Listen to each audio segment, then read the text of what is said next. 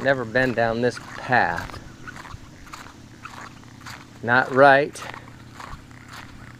not left, right down the center we go. Anyway, this is where I've never been. I've never been down this little path. And so, I'm going on a journey.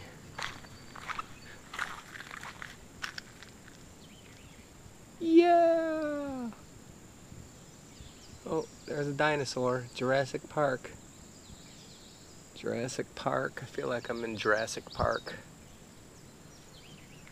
I'm I'm I'm exploring. I'm going out to the to the uh, river here.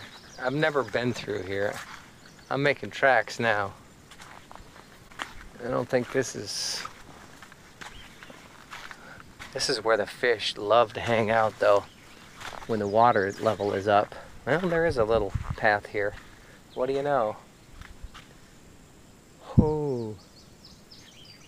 I am on a, an exploration, a little journey.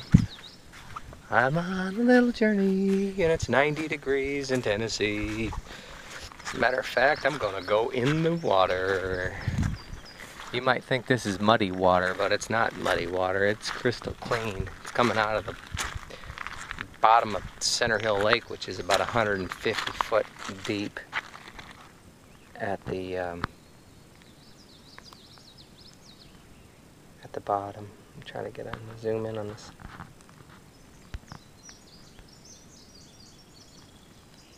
He's just digging the.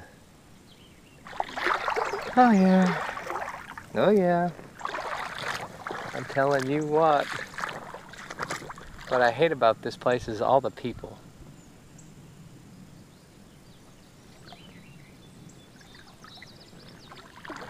There are trout in here now, I'm telling you. This has a reputation of being a really good fly fishing lake, A lake, river. It's clean.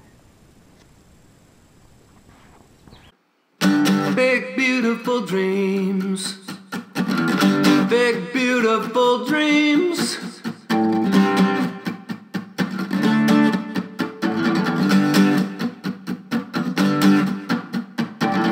Hiking, biking, flying with your wingsuit on.